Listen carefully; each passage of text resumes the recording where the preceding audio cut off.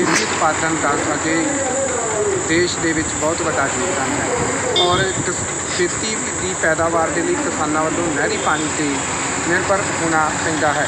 ਸਾਡੇ ਪੰਜਾਬ ਦੇ ਮਾਲਵਾ ਖੇਤਰ ਵਿੱਚ ਕਿਸਾਨ ਜਿਹੜੇ ਨੇ, ਉਹ ਨਹਿਰੀ ਪਾਣੀ ਦੇ ਫਸਲਾਂ ਦੀ ਬਿਜਾਈ ਕਰਦੇ ਨੇ। ਔਰ ਪਿਛਲੇ ਕਈ ਸਾਲਾਂ ਤੋਂ ਨਹਿਰੀ ਪਾਣੀ ਦੇ ਨਾਲ ਬਿਜਾਈ ਕਰਨ ਵਾਲੇ ਖੇਤਰ ਦੇ ਕਿਸਾਨਾਂ ਦਾ ਕਹਿਣਾ ਹੈ ਕਿ ਉਹਨਾਂ ਨੂੰ ਨਹਿਰੀ ਪਾਣੀ ਪੂਰੀ ਮਕਦਾਰ ਦੇ ਵਿੱਚ ਨਹੀਂ ਮਿਲ ਔਰ ਜੇ ਪਾਣੀ ਮਿਲਦਾ ਹੈ ਤਾਂ ਬਹੁਤ ਘੱਟ ਮਾਤਰਾ ਦੇ ਵਿੱਚ ਮਿਲਦਾ ਹੈ, ਜਿਸ ਨਾਲ ਉਹ ਆਪਣੀ ਫਸਲਾਂ ਦੀ ਸਮੇਂ ਸਿਰ ਬਿਜਾਈ ਨਹੀਂ ਕਰ ਸਕਦੇ ਔਰ ਬਿਜਾਈ ਪਛੜਨ ਦੇ ਨਾਲ ਕਿਸਾਨਾਂ ਦਾ ਆਰਥਿਕ ਨੁਕਸਾਨ ਹੁੰਦਾ ਹੈ।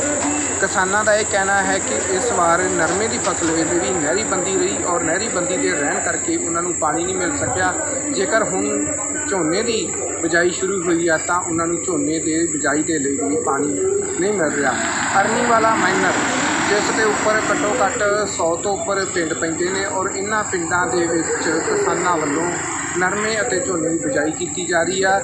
ਇਸ ਦੀ ਬੰਦੀ ਰਹਿਣ ਕਰਕੇ, ਇਸ ਦੀ ਮੈਨਰ ਵਿੱਚ ਬੰਦੀ ਆਉਣ ਕਰਕੇ ਮੁਕਤਸਰ ਔਰ ਫਾਜ਼ਿਲਕਾ ਜ਼ਿਲ੍ਹੇ ਦੇ ਸੈਂਕੜੇ ਕਿਸਾਨਾਂ ਵੱਲੋਂ ਅੱਜ ਮਲੋਟ ਫਾਜ਼ਿਲਕਾ ਰੋਡ ਤੇ ਪੰਨੀ ਵਾਲਾ ਫੱਤਾ ਵਿਖੇ ਧਰਨਾ ਦਿੱਤਾ ਗਿਆ ਹੈ।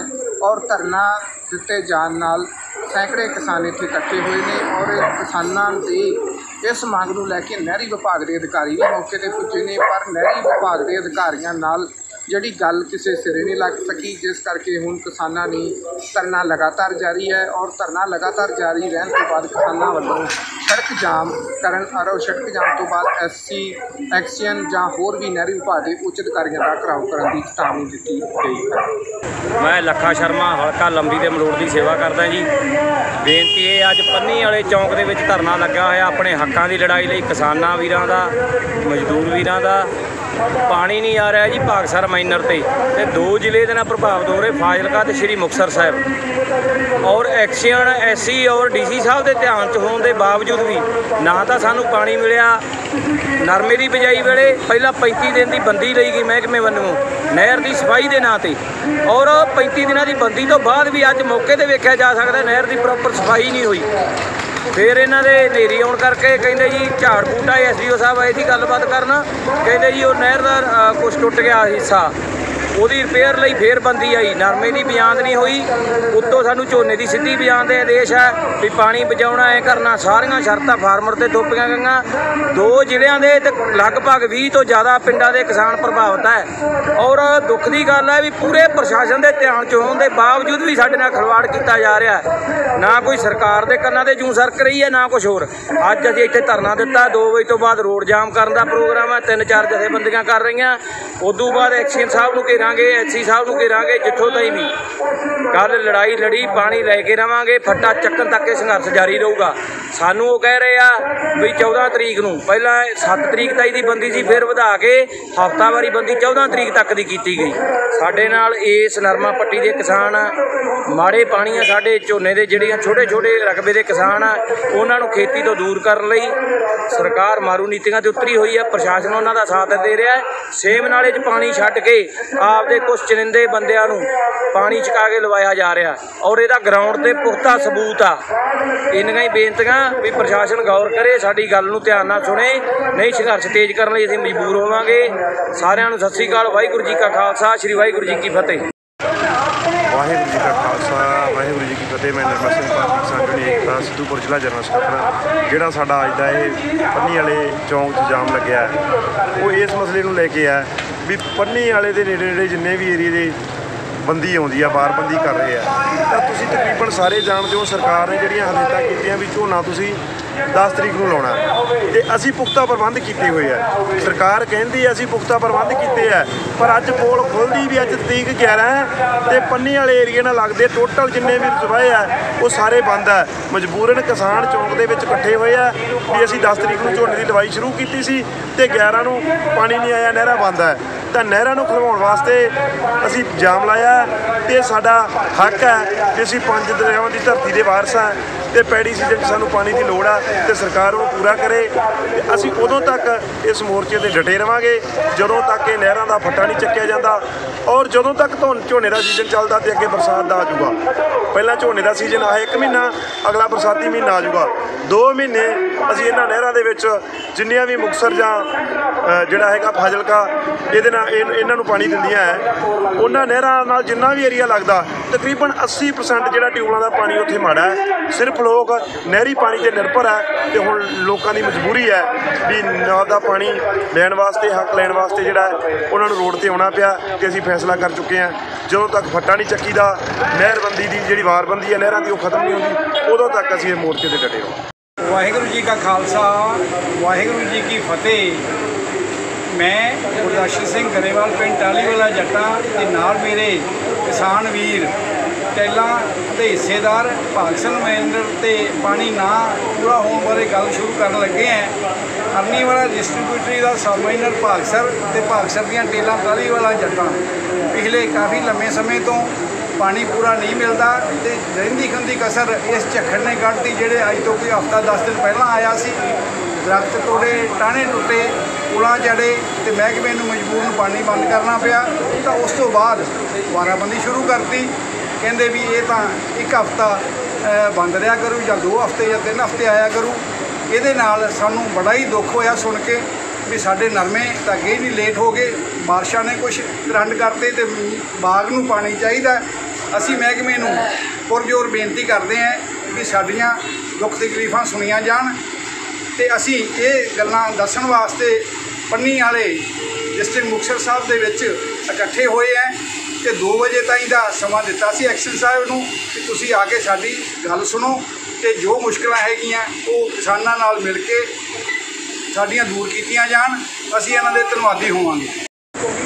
ਅੱਜ ਦਾ ਧਰਨਾ ਜੋ ਅਸੀਂ ਪੰਨੀ ਵਾਲੇ ਦੇ ਵਿੱਚ ਦੇਸ਼ ਕਿਸਾਨ ਜੋ ਧਰਨਾ ਦੇ ਰਹੇ ਆ, ਇਹ ਪਾਣੀ ਦੇ ਸੰਬੰਧ ਦੇ ਵਿੱਚ ਹੈ ਜੋ ਅੱਗੇ ਧਰਨੇ ਦਿੱਤੇ ਸੀ, ਉਹ ਫਸਲਾਂ ਤੇ ਐਮਐਸਪੀ ਦੇ ਸੰਬੰਧਿਤ ਦਿੱਤੇ ਗਏ ਸੀ। ਇਹ ਧਰਨਾ ਪਾਣੀ, ਜਦੋਂ ਹੁਣ ਪਾਣੀ ਖੇਤੀ ਨੂੰ ਲੋੜ ਹੈ ਨਰਮੇ ਨੂੰ ਲੋੜ ਹੈ ਨਰਮੇ ਦੀ ਬਿਜਾਈ ਵੀ ਚੱਲ ਰਹੀ ਹੈ ਝੋਨੇ ਦੀ ਬਿਜਾਈ ਚੱਲ ਰਹੀ ਹੈ ਤਾਂ ਜਿਹੜੇ ਆ ਸਾਡੇ ਪਾਣੀ, ਜਿਹੜੇ ਆ ਨਹਿਰਾਂ ਦੇ ਪਾਣੀ ਹਫ਼ਤਾਵਾਰੀ ਬਣਾਉਂਦੇ ਆ, ਕਦੀ ਇਹ ਮਹਿਕਮੇ ਕਹਿੰਦੇ ਆ ਵੀ ਸਾਡੇ ਆ ਨਹਿਰਾਂ ਦੀ ਸਫ਼ਾਈ ਹੋਣ ਵਾਲੀ ਆ ਰਿਪੇਅਰ ਹੋਣ ਵਾਲੀ ਆ।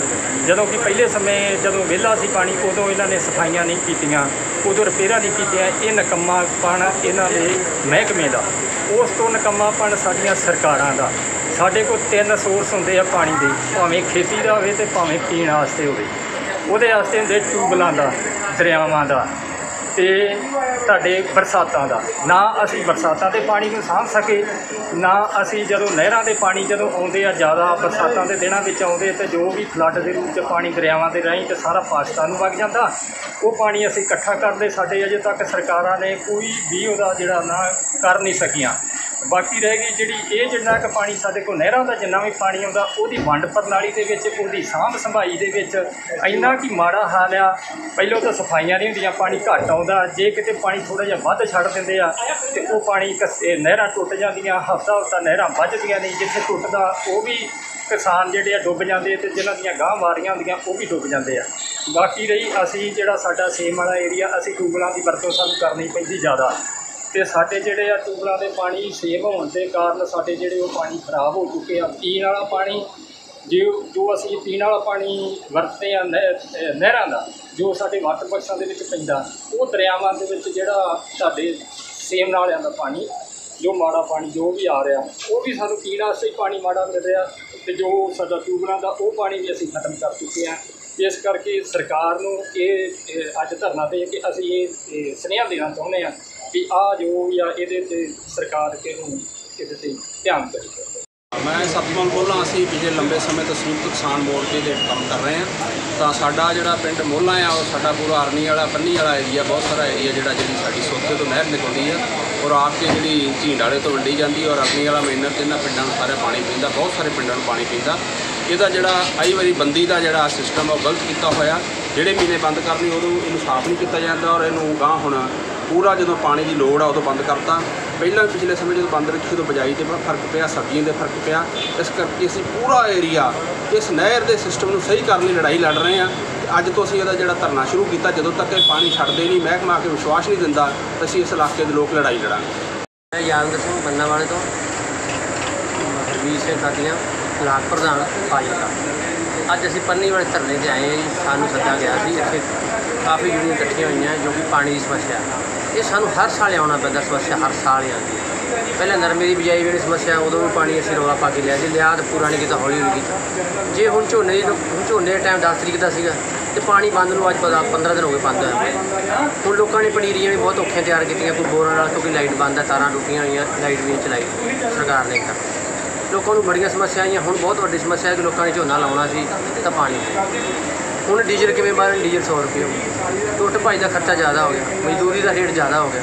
ਪਰ ਇੰਨੀਆਂ ਸਮੱਸਿਆ ਇੰਨੀਆਂ ਕਿ ਦੱਸ ਹੀ ਨਹੀਂ ਸਕਦੇ ਆਪਾਂ। ਜੇ ਡੀਏਪੀ ਕਹਿੰਦੇ ਸੀ ਵੀ 2400 ਰੇਟ ਹੋ ਗਿਆ ਤੇ ਕਿਸਾਨ ਖੁਸ਼ ਹੋ ਕੇ 1200 ਨੂੰ ਹੋ ਗਏ। ਉਹ ਕਿਵੇਂ ਖੁਸ਼ ਹੋ ਕੇ 1200 ਨੂੰ ਹੋ ਗਏ? ਉਹ 1200 ਟੈਕਸ ਪਤਾ ਆਪਾਂ ਨੂੰ ਫਿਰ।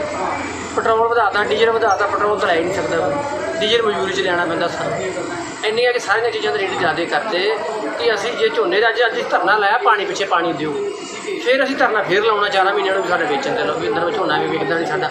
ਅਸੀਂ ਧਰਨਿਆਂ ਵਾਸਤੇ ਹੀ ਪੈਦਾ ਹੋਏ ਆ ਧਰਨੇ ਲਾਈ ਚੱਲੋ। ਤੇ ਕਿਸਾਨ ਸਾਨੂੰ ਟੈਕਸ ਦੇਈ ਚੱਲੋ, ਅਸੀਂ ਟੈਕਸ ਦੇਈ ਜਾਂਦੇ, ਧਰਨੇ ਲਾਈ ਜਾਂਦੇ ਹਾਂ। ਸਾਡੀ ਕੋਈ ਸੁਣਵਾਈ ਨਹੀਂ ਕਰਦੀ ਸੈਂਟ ਕੋਈ ਸਰਕਾਰ ਨਾ ਸੈਂਟਰ ਨਾ ਪੰਜਾਬ ਸਰਕਾਰ। ਪੰਜਾਬ ਸਰਕਾਰ ਉਹ ਸੁੱਤੀ ਪਈ ਹੈ, ਸੈਂਟਰ ਸਰਕਾਰ ਜਮਈ ਉੱਥੇ ਕਿਸਾਨ ਬੈਠੇ, ਉਹ ਜੇ ਤਾਂ ਉਸ ਵੀ ਉੱਥੇ ਉੱਥੇ ਰੱਖੀ ਬੈਠੇ ਮੋਦੀ। ਉਹ ਨਾ ਗਾਣਾ ਸ਼ਾਮ ਉਸ ਤੋਂ 7 ਮਹੀਨੇ ਦੇ ਕਰੀਬ ਹੋ ਚੁੱਕੇ ਹਨ ਸਾਰੇ ਬੈਠੇ ਸਾਰੇ ਕਿਸਾਨ, ਸਾਰੇ ਪੰਜਾਬ ਦੀ, ਸਾਰੇ ਹਿੰਦੁਸਤਾਨ ਦੇ ਕਿਸਾਨ ਪਹੁੰਚੇ ਬੈਠੇ। ਹੁਣ ਪੂਰੀ ਦੁਨੀਆ ਭਰ ਚ ਆਵਾਜ਼ ਚਲੀ ਗਈ ਹੈ। ਮੋਦੀ ਫਿਰ ਵੀ ਨਹੀਂ ਮੰਨਦਾ ਪਿਆ, ਕਹਿੰਦਾ ਜੀ ਬਿੱਲ ਨਹੀਂ, ਬਹੁਤ ਚੰਗੇ ਆ। ਜਦੋਂ ਅਸੀਂ ਲੈਣਾ ਨਹੀਂ ਚਾਹੁੰਦੇ ਬਿੱਲ, ਸਾਡੇ ਵਾਸਤੇ ਮਾੜੇ ਆ। ਤੂੰ ਬੰਦ ਕਰ ਦੇ, ਦੱਸ ਕੀ? ਉਹ ਕਹਿੰਦਾ ਨਹੀਂ ਮੈਂ ਧੱਕੇ ਨਾਲ ਤੁਹਾਨੂੰ ਬਿੱਲ ਦਿੰਦੇ, ਧੱਕੇ ਨੇ ਹਰੇਕ ਚੀਜ਼ ਧੱਕੇ ਦਿੰਦਾ। ਹੁਣ ਕੋਈ ਕੋਈ ਵੀ ਲੀਡਰ ਨਾ ਤਾਂ ਪੰਜਾਬ ਸਰਕਾਰ ਬੋਲਦੀ, ਅੱਜ ਵੀ ਇੰਨਾ ਡੀਜ਼ਲ ਰੇਟ ਹੋ ਗਿਆ। ਨਾ ਸਰਕਾਰ ਬੋਲਦੀ। ਡੀਜ਼ਲ ਦਾ ਰੇਟ ਇੰਨਾ ਵੱਧਾ ਕਿ ਕਦੇ ਰੁਪਈਆ ਵਧਾਉਂਦੇ ਕਿ ਠੰਡੀਆਂ ਹੁਣ 70 ਰੁਪਏ 70 ਸੀਗਾ।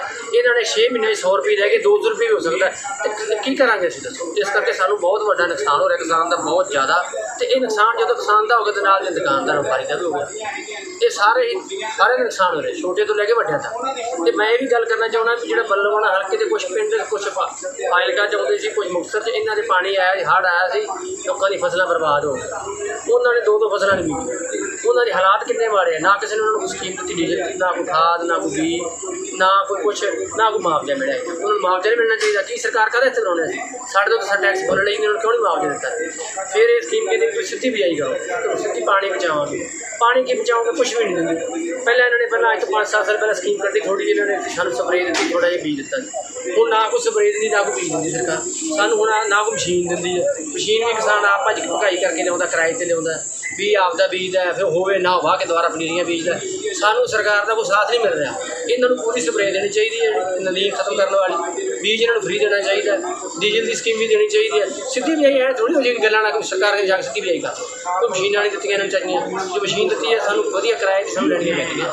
ਇਸ ਕਰਕੇ ਮੈਂ ਸਰਕਾਰ ਨੂੰ ਕਹਿੰਦਾ, ਬੇਨਤੀ ਕਰਦਾ ਵੀ ਸਾਰੀਆਂ ਸਕੀਮਾਂ ਦਿੱਤੀਆਂ ਜਾਣ, ਕਿਸਾਨ ਨੂੰ ਬਚਾਇਆ ਜਾਵੇ ਤੇ ਸਾਰੇ ਹਿੰਦੁਸਤਾਨ ਦੇ ਕਿਸਾਨਾਂ ਨੂੰ ਬਚਾਇਆ ਜਾਵੇ। ਤੇ ਥਾਂ ਤੇ ਬਿਮਾਰੀ ਹੁਣ ਕਹਿ ਦਿੰਦੇ ਰੇਟ ਜੀ, ਇਹ ਤੁਹਾਨੂੰ ਫਾਇਦੇ ਦਾ 700 ਨੂੰ ਮੱਕੀ ਵੇਚਦੀ ਪਈ ਹੈ। ਬਿਹਾਰ ਦੇ ਵਿੱਚ ਸੜਕ ਤੇ ਵੇਖਿਆ ਪਰਸੋਂ ਦੇਖਦੇ ਮੈਂ ਵੇਖਦਾ ਪਿਆ ਟੀਵੀ ਤੇ। 700 ਰੁਪਏ ਸੜਕ ਤੇ ਪਈ ਹੈ ਬਿਹਾਰ ਦੇ ਵਿੱਚ ਕਿਸੇ ਸਰਕਾਰ ਰੇਟ ਨਹੀਂ ਮਿਲਦਾ। ਅੱਜ ਕਣਕ ਦਾ ਰੇਟ ਤੁਹਾਨੂੰ ਪਤਾ 1500 ਹੋ ਗਿਆ। ਅੱਜ ਕਿਸੇ ਚੀਜ਼ ਦਾ ਨੇ ਕਣਕ ਵੇਚਣ ਜਾਣੀ 1500 ਰੇਟ ਹੈ। ਤੇ ਸਰਕਾਰ ਕਹਿੰਦੀ ਬਿੱਲ ਬੜੇ ਜਿੱਦਣ ਕਿਸਾਨ ਵਾਪਸ ਆ ਕੇ ਹਜ਼ਾਰ ਰੋੜ ਕਣਕ ਕਿਸੇ ਨੇ ਲੈਣੀ, ਕੀ ਕਰਾਂਗੇ ਅਸੀਂ? ਇਹ ਸਰਕਾਰ ਮਾਰਨ ਨੂੰ ਜਲਦੀ ਵੱਡੇ ਘਰਾਂ ਨਾਲ ਗੱਲ ਕਰਕੇ ਉਹਨਾਂ ਨੂੰ ਦੇਣਾ ਚਾਹੁੰਦੀ ਹੈ ਬਹੁਤ ਬਹੁਤ ਕਿਹੜੀਆਂ ਗੱਲਾਂ ਦੱਸੀਆਂ ਤਾਂ ਇੰਨੀਆਂ ਹੀ ਗੱਲਾਂ ਨੇ ਕਿ ਸ਼ਾਮ ਤੱਕ ਪੂਰੀ ਜਿਹੜੀ ਸਰਕਾਰ ਆਪਣੇ ਕਿਸਾਨ ਚਲਾਈਆਂ ਹੀ ਨਹੀਂ। ਦੇਸ਼ ਦੁਨੀਆ ਦੀਆਂ ਤਾਜ਼ਾ ਖਬਰਾਂ ਦੇ ਲਈ ਹੁਣੇ ਪਲੇ ਸਟੋਰ ਤੋਂ ਡਾਊਨਲੋਡ ਕਰੋ ਪੰਜਾਬ ਦੀ ਆਵਾਜ਼, ਅਜੀਤ ਨਿਊਜ਼ ਐਪ। ਹੁਣ ਤੁਹਾਡਾ ਆਪਣਾ ਅਜੀਤ ਹਰ ਸੋਸ਼ਲ ਮੀਡੀਆ ਪਲੇਟਫਾਰਮ ਦੇ ਉੱਤੇ ਉਪਲਬਧ ਹੈ। ਫੇਸਬੁੱਕ ਦੇ ਉੱਤੇ ਹੁਣੇ ਲਾਈਕ ਤੇ ਫੋਲੋ ਕਰੋ ਅਜੀਤ ਦਾ ਅਫੀਸ਼ੀਅਲ ਪੇਜ ਡੇਲੀ ਅਜੀਤ ਤੇ ਹਾਂ, ਨਾਲ ਹੀ ਦੋਸਤਾਂ ਨੂੰ ਪੇਜ ਲਾਈਕ ਕਰਨ ਦੇ ਲਈ ਇਨਵਾਈਟ ਕਰਨਾ ਨਾ ਭੁੱਲਣਾ। ਇੰਨਾ ਹੀ ਨਹੀਂ, ਹਿੰਦੀ ਦੇ ਵਿੱਚ ਖਬਰਾਂ ਵਾਸਤੇ ਲਾਈਕ ਤੇ ਫੋਲੋ ਕਰੋ ਸਾਡਾ ਫੇਸਬੁੱਕ ਪੇਜ ਅਜੀਤ ਸਮਾਚਾਰ, ਹਿੰਦੀ। YouTube ਦੇ ਉੱਤੇ ਵੀਡੀਓ ਖਬਰਾਂ ਦੇਖਣ ਦੇ ਲਈ ਹੁਣੇ ਸਬਸਕ੍ਰਾਈਬ ਕਰੋ। ਅਜੀਤ ਦਾ official YouTube channel Ajit web TV ਤੁਹਾਡਾ ਆਪਣਾ ਅਜੀਤ ਹੁਣ ਟਵਿੱਟਰ ਤੇ ਇੰਸਟਾਗ੍ਰam ਦੇ ਉੱਤੇ ਵੀ ਉਪਲਬਧ ਹੈ। ਟਵਿੱਟਰ ਦੇ ਉੱਤੇ ਖਬਰਾਂ ਦੇ ਲਈ ਫੋਲੋ ਕਰੋ ਡੇਲੀ ਅਜੀਤ ਤੇ ਇੰਸਟਾਗ੍ਰam ਦੇ ਉੱਤੇ ਖਬਰਾਂ ਦੇ ਨਾਲ ਨਾਲ ਵੀਡੀਓ ਦੇਖਣ ਦੇ ਲਈ ਫੋਲੋ ਕਰੋ ਬਲੂ ਟਿਕ ਵਾਲਾ। ਸਾਡਾ ਅਫੀਸ਼ੀਅਲ ਚੈਨਲ ਡੇਲੀ ਅਜੀਤ ਇਹਨਾਂ ਹੀ ਨਹੀਂ, ਅਜੀਤ ਦੇ ਵੀਡੀਓ ਹੁਣ ਤੁਸੀਂ Apple TV ਦੇ ਉੱਤੇ ਵੀ ਵੇਖ ਸਕਦੇ ਹੋ। ਤੇ ਨਾਲ ਹੀ ਅਜੀਤ ਅਖਬਾਰ ਦਾ ਡਿਜੀਟਲ ਐਡੀਸ਼ਨ ਪੜ੍ਹਨ ਦੇ ਲਈ ਡਾਊਨਲੋਡ ਕਰੋ ਅਜੀਤ ਈ-ਪੇਪਰ ਐਪ ਤੁਹਾਡਾ ਆਪਣਾ ਭਰੋਸੇਯੋਗ ਚੈਨਲ ਤੁਹਾਡੀ ਆਪਣੀ ਆਵਾਜ਼, ਪੰਜਾਬ ਦੀ ਆਵਾਜ਼ ਅਜੀਤ।